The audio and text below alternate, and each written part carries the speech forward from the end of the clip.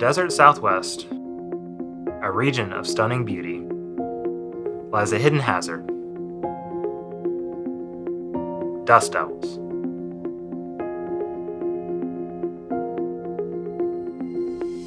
Hi, I'm Paul Suffern. I've been a meteorologist with the National Transportation Safety Board for over a decade. These seemingly benign whirlwinds have factored into over 170 aviation accidents the NTSB has investigated since 1982. Dust devils arise from differential surface heating, creating spiraling updrafts under clear skies. They form when the ground heats up enough and a localized pocket of air quickly rises through the colder air above it. This rapidly rising pocket of air may begin to rotate, which can intensify as more hot air rushes in towards the developing vortex. The resulting whirlwind can be as strong as some tornadoes or waterspouts.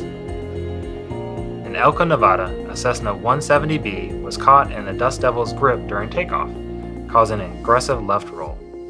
Despite the pilot's inputs, the plane veered off the runway. In Palm Gardens, Nevada, a helicopter crew performing power line work encountered a dust devil, causing loss of control and substantial damage. Dust devils are especially common in the southwestern U.S., but they can form anywhere in the right conditions, as evidenced by this crash of a Grumman AgCat in Saffell, Arkansas. Here are some things to be mindful of. Before flight, get a detailed weather briefing. Be aware of flat terrain and near boundaries of different terrain types. Dust devils typically form in areas of strong surface heating, such as different surface types like asphalt or dirt. They may be more likely to form in the afternoon and downwind of mountains or other projections from otherwise flat landscapes.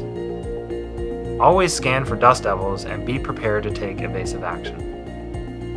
When possible, maintain a higher altitude to minimize the risk. Avoid flying through them. Even without visible debris, they can be dangerous.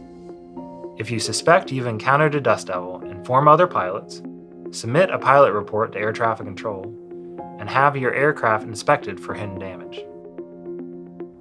Dust devils, silent yet potent. As pilots, our awareness and preparedness can make all the difference. Fly informed, fly safe.